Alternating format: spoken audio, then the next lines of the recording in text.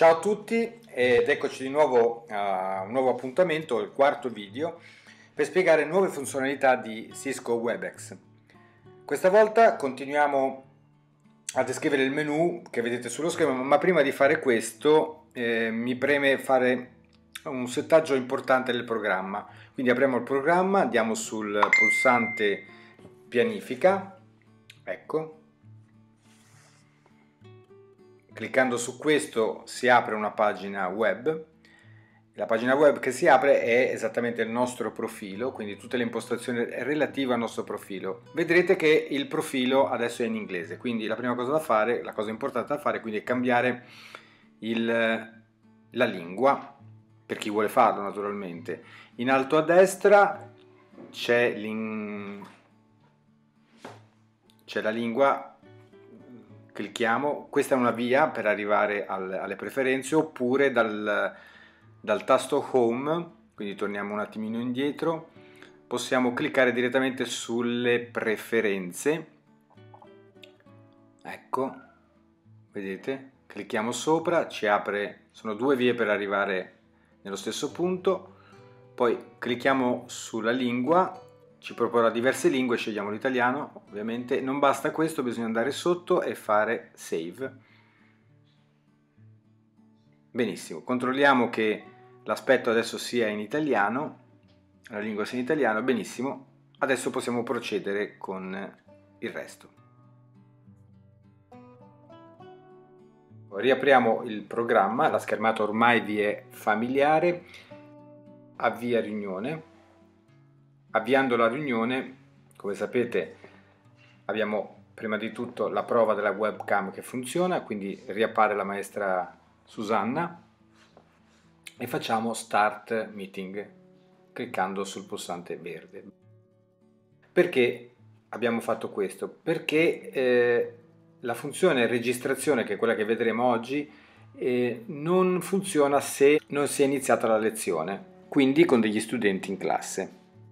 Ok, il pulsante che attiva la registrazione è il quarto, quello che sto indicando con la freccia.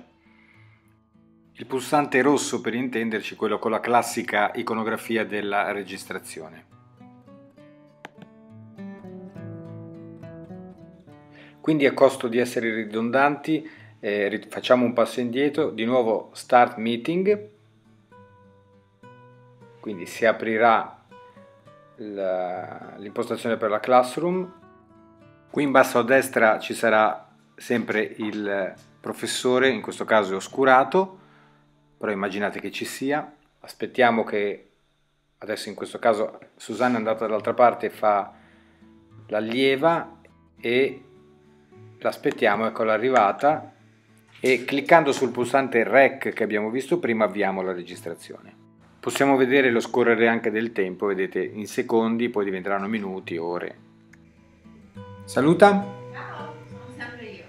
Poi schiacciamo appunto il tasto stop e stop recording per ultimare la registrazione. Bene, come facciamo adesso a sapere dove sono finiti i nostri file? Ritorniamo sulla schermata principale, andiamo su pianifica, si aprirà quello che abbiamo visto, il nostro profilo, e sopra vedremo la voce registrazioni.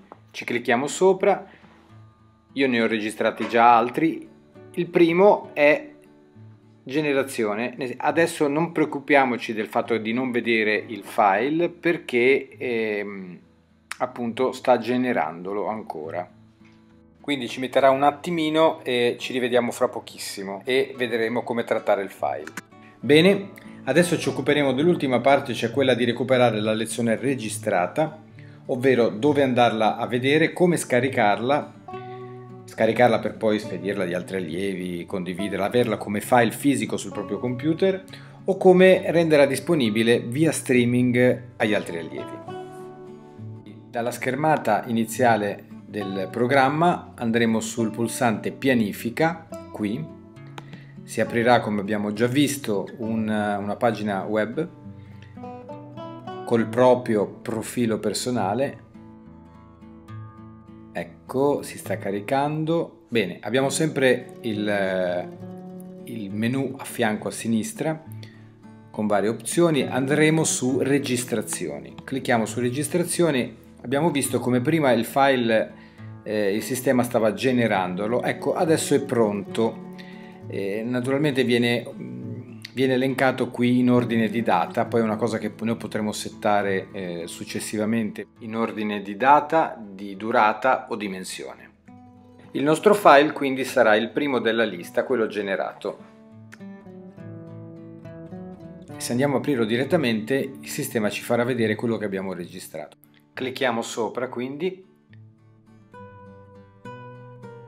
ecco qui, andiamo a fare play e vediamo appunto il video di prima. Sì, sì, sto registrando, la registrazione sta ecco. avvenendo. Come vedete qui lo spazio nero eh, era riservato al video del docente che è stato oscurato, comunque immaginate che ci sia il docente, invece in alto abbiamo Susi che faceva prima l'alunno. Bene.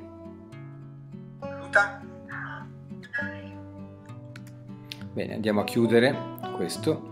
Ritorniamo quindi a questa schermata e vediamo al lato destro i tre simbolini che adesso andremo a spiegare. Il primo è quello che consente di scaricare il file fisicamente sul proprio computer.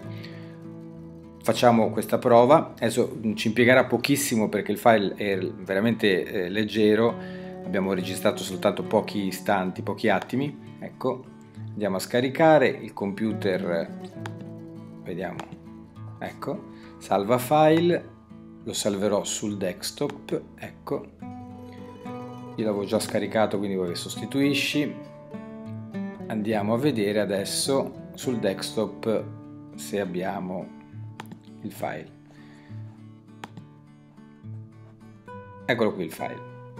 Il file, come possiamo vedere, ha un formato che è MP4, il formato che si legge praticamente ovunque, soprattutto sui dispositivi mobili. Andiamo ad aprire il file vediamo che appunto abbiamo il file fisicamente sopra al computer.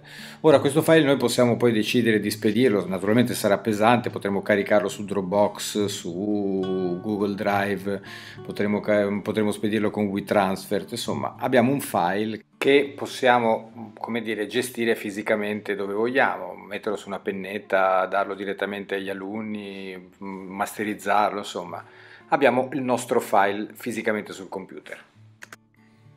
Eccoci di nuovo qui alla pagina eh, del profilo personale e eh, trattiamo sempre il primo file, andiamo a vedere gli altri due simbolini, cioè questo che è quello di condividi e questo che poi sarà quello di modifica elimina, cioè avremo la possibilità di eliminare il file o di modificarlo eh, rinominandolo e mh, mm, mettendo alcuni settaggi specifici. Occupiamoci adesso del pulsante condividi. Questo pulsante cliccandoci sopra vi dà la possibilità di condividere il file con persone specifiche, quindi con una, una serie di alunni o un alunno soltanto. Se vogliamo inserire un, un gruppo di persone, noi possiamo inserire nel, nel riquadro, nel primo riquadro, una serie di mail, un elenco di mail separate da una virgola. Quindi facciamo un esempio, se io scrivessi chiocciola eh, yahoo.it poi virgola. Ecco automaticamente mi creo un elenco quindi scrivo un'altra mail um, hotmail.it vedete se metto poi una virgola automaticamente se schiaccio la virgola mi crea un elenco questa possibilità me la dà scrivendo direttamente sul riquadro, quindi scrivere la mail, poi mettere la virgola, automaticamente mi crea un elenco. O diversamente, se io l'elenco con le mail me lo preparo prima, eh, su un foglio magari Word, poi farò un copia e incolla nel riquadro e otterrò la formazione dell'elenco delle mail a cui spedire l'invito facciamo una prova. Allora io qua precedentemente avevo eh, su Note eh, scritto queste, queste tre mail. Ecco vedete? Ho scritto queste tre mail attaccate eh, separate soltanto da una virgola senza spazi. Copia. Farò un'incolla e il sistema automaticamente mi crea un elenco, in questo caso di tre mail ma possono essere tantissime. Proviamo quindi a spedire un invito. Mettiamo una mail.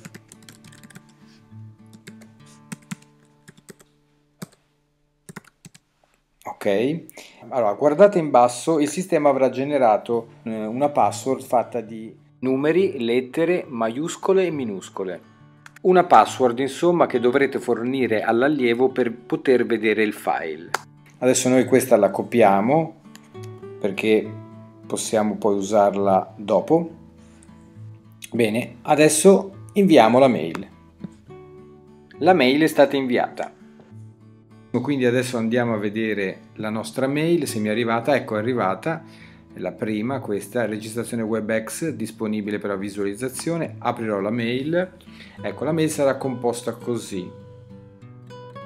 Allora, riproduci registrazione filmato, andrò sopra, cliccherò e avrò